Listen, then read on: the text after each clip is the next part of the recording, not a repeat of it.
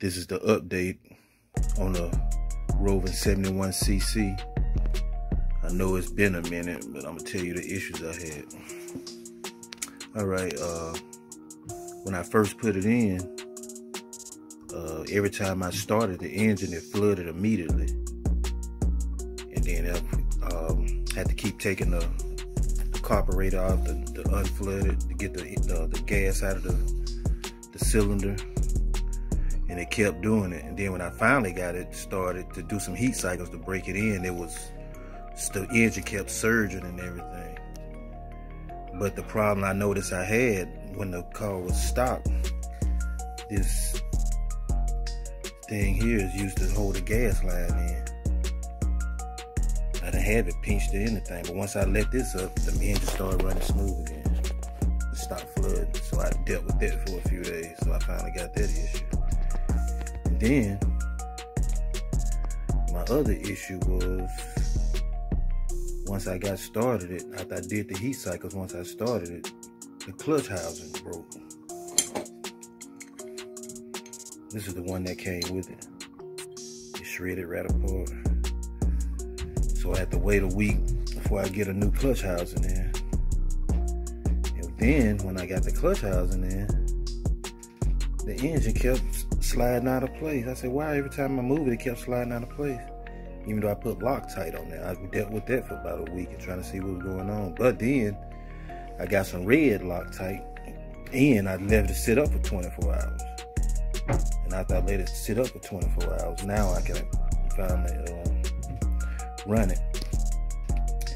And uh, fitment me issues. All right, down here,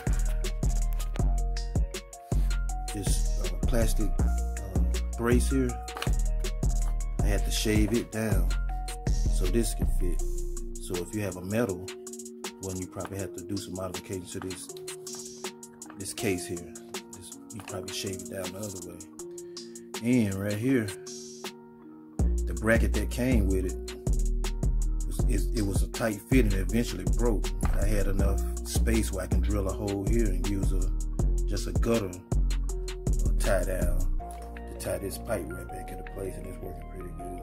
But otherwise, that right there was a big gap right there. It just didn't fit.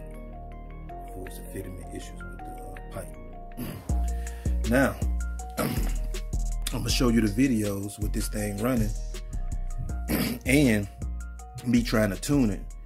So I don't know, I probably need some help with that, those who are good at tuning, but I cannot get this engine to rev over 13,000 RPMs the engine that came with it, the 32 cc's, uh, I got 13.9 out of that with no tune. I didn't have to touch any uh, needles on that engine. It, it revved, it, and I never had to touch it at all.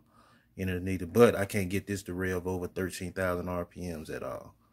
And I know it should be uh, revving around about the same is that uh is that uh 32 cc, but they have a whole lot more torque.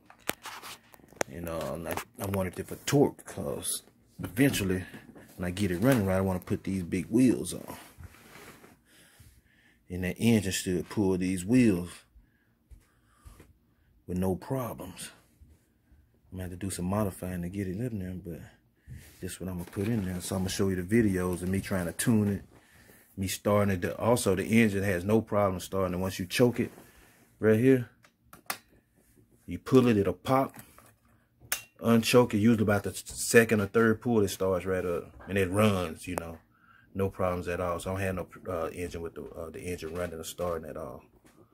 But those who are uh, master tuners maybe you can give me some pointers or anything. You can see me in the videos me trying to tune this thing and running it but i can't get it over 13,000 rpm my 45 cc i got that to uh, 24,000 um, RPMs. Of course, the one that came with it, the 32cc, I, I uh, my tachometer uh, um, got to just 13,000 on here, so I know it can do better. I just probably me a tuning issue. I may I don't know if it's the filter. I tried to take the foam off to get a little bit more air, but I still couldn't get more out of it. I don't know, maybe I need a velocity stack. I don't know. All right, here you go to videos. Thanks for tuning in.